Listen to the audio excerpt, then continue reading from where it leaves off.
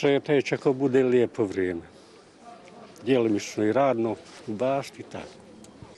Zatekli se mi nisam ni razmišljao. Ja razmišljam tek ujutru kad vidim. Ali najvjerojatnije ne u gradu, nego negdje gdje je veća nadmorska visina, dakle na planini. Dakle, preferirate prirodu inače. Inače mi je to u praksi rijetko koju nedjelju ili vikend provedem u gradu, osim ako nema obavezu. Kući, liječiti jednog bolesnika i to je to.